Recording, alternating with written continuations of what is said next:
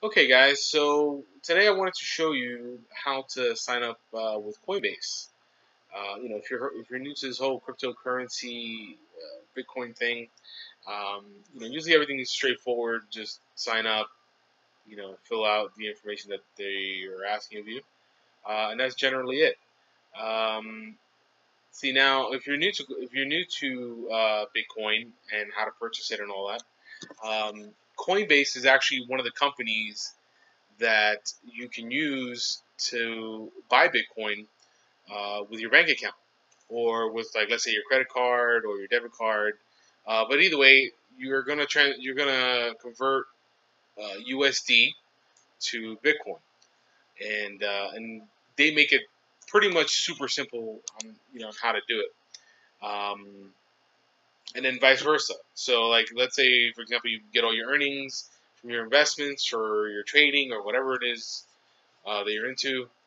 Um, you're basically going to take Bitcoin and you're going to transfer it back to your bank account. Okay. So now, what uh, I'm going to walk you through the sign up process because with Bitcoin things are slightly different. Uh, you know, it's your traditional. You know, you sign up, put in your information um, but the way a lot of these places, uh, a lot of these websites use to confirm your identity, sometimes you have to take, uh, or actually most of the time you have to take a picture of yourself with a piece of paper, you know, with a signature, with your ID, or something similar to that. Or like I remember one time uh, I used CoinMama to buy some Bitcoin, and they needed a picture of me with my credit card. So, uh, and that's how they verify that you are who you are, and that you're actually, you know, the account holder or you know the card holder in this case. Uh, my well, in my case, um, you know, to know that you know it's a legitimate transaction, right?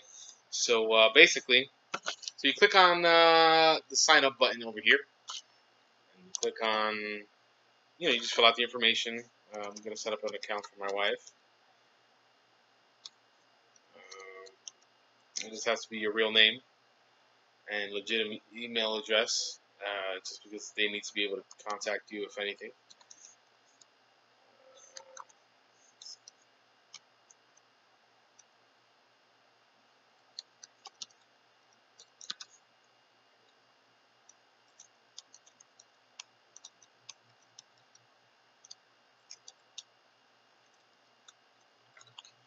Okay, and you have to use pretty uh, long password um, and pretty complex. Uh, my password consists of uh, uppercase, lowercase numbers, alphanumeric number, uh, alphanumeric uh, characters. Uh, you know, like exclamation points, stuff like that. Um, so you know this this password you you are going to want to remember it, write it down somewhere, um, and actually uh, you know, and put it somewhere safe, uh, so that if in case you forget it, you can always remember it. You know, you can always refer back to where we wrote it down. Um, and then, uh, okay, click on that robot. I certify that I'm 18, and I can generally create this account. So now what's going to happen is they're going to send you a verification email so that to verify that the email address is correct. Uh, you know, because the last thing you want is you know for the email to go to the wrong place and you know nobody definitely wants that. Okay, so basically what we're looking for in our email is the email from Coinbase.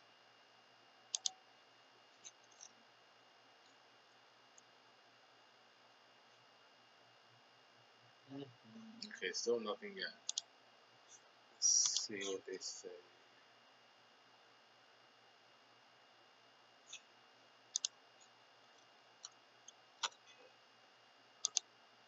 Okay, sometimes it might take a couple of minutes. Uh, okay, no, it looks like it, uh, it arrived. Okay, so now we verify our email. Verify your email address. To take you back to Coinbase. And then here's where um, here's where you have to select if you're a business or an individual. You know, select whichever one applies to you, which I guess uh, for most people is going to be individual. Make sure it's selected. Click next. Uh, just type in your phone number. Uh, let's see.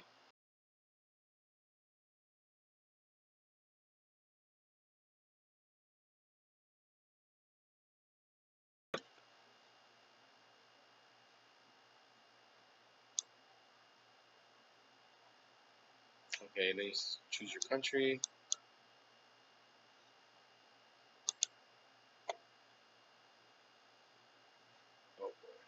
Okay, let's see. I, my wife is not here with me, so let's see if I can skip and do this later.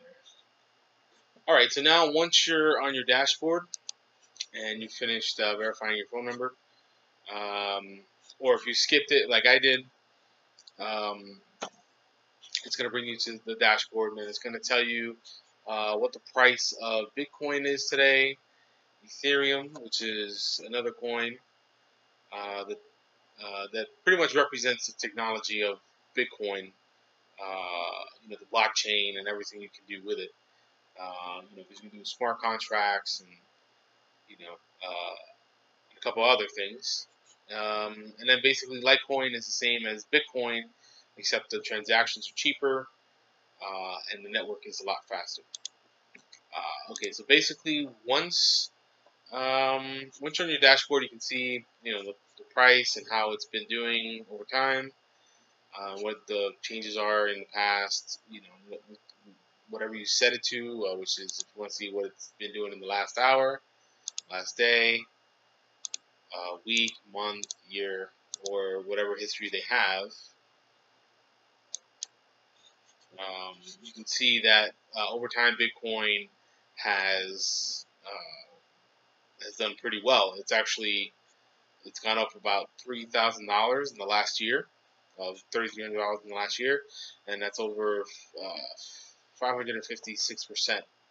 Uh, which gains like this you you won't see in the stock market ever, uh, or at least not to my knowledge. Um, you know, and that's how well Bitcoin is doing uh, and as you can see over time, it started off basically a penny stock, and then eventually it just the momentum just grew and grew and grew and grew, and now it's, it's growing. It's going to continue to grow um, as the years go by. And uh, but anyway, so getting back to uh, Coinbase, um, on the top right hand corner over here, you're going to click the down arrow then you're going to go to your settings. And here's where you is where you enter all your banking information, uh, personal profile, uh, and everything. I'm not going to go through it because uh, my wife, um, you know, I'll make her fill all this out and stuff. But you know, you need to enter your all your real information, your address, phone number. I think they're gonna verify. They're gonna ask you to um, to send them a picture with your ID, um, and everything is secure. You know, anytime anytime you see this lock on a website up on the top left hand corner, I'm using Firefox. But usually there's a lock over here, and it's and it shows in green. Uh, you know that everything is secure. Um, and yeah, so all this information, uh, just fill it out, security. If you're going to use uh, the Google Authenticator, the two the two factor authentication, I highly recommend you enable that. Um, you have to download you have to download an app to your to your phone. I don't know if you guys can see it, but uh, it's right there. It's called the uh, Google Authenticator, and when you click on that, you're going to have like a series of numbers, and these are all the different programs that I'm involved. You know, has different numbers, uh, and this is uh, this is just a secondary authentic authentication tool, so that you know the website knows that it's you. So if God forbid you know someone ever gets hacked, uh, and the you know the hackers discover your password, uh, if they don't have the authentication code, they can't get it. Um, so definitely enable that and finish that process uh, when you do enable it. Uh, and yeah, and just go through your accounts, and uh, you know your payment methods. Here's your where you're gonna link up your bank account and all that information. Um, you know, just you know your your standard routing number, all of that. So you know, just take your time going through all this right here, fill it out.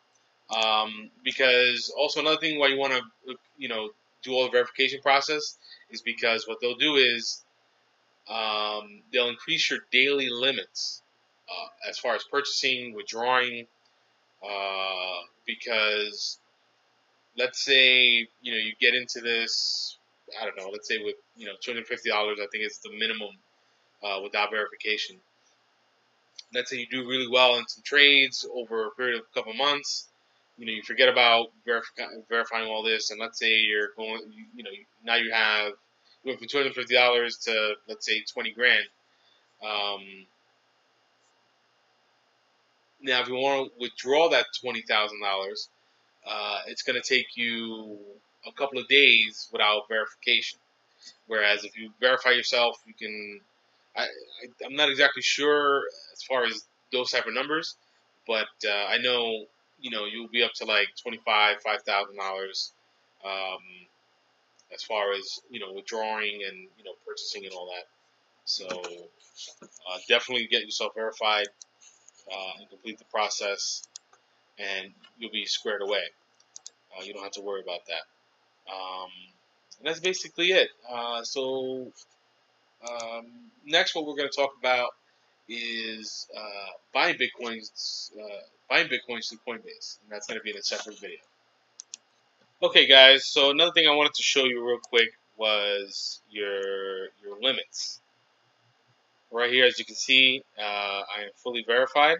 Well, almost verified. I still got to upload my ID uh, and verify my identity. But uh, as you can see, I can, from my bank account, I can buy up to 5000 uh, and it tells you how much you're remaining. And these are weekly limits. Uh, your credit and debit card, um, it's 500 and then withdraw is up to 10,000. So I would imagine once I uh, upload my ID, it'll increase my limits even further.